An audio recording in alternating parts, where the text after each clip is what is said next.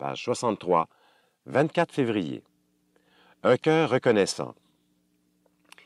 J'essaie beaucoup de m'accrocher à cette vérité qu'un cœur rempli de reconnaissance ne peut entretenir de grandes vanités.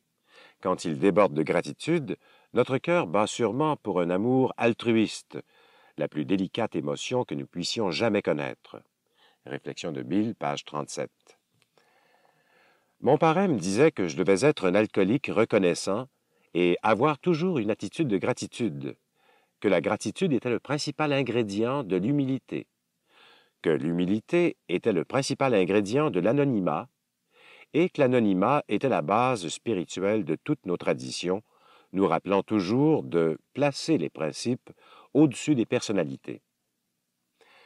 Mettant en pratique ces conseils, je commence chaque journée à genoux afin de remercier Dieu pour trois faveurs. Je suis en vie, je suis abstinent et je suis membre des alcooliques anonymes. Ensuite, j'essaie d'avoir une attitude de gratitude et de jouir pleinement d'un autre 24 heures selon le mode de vie DAA. Les alcooliques anonymes, c'est plus qu'un mouvement, c'est une manière de vivre.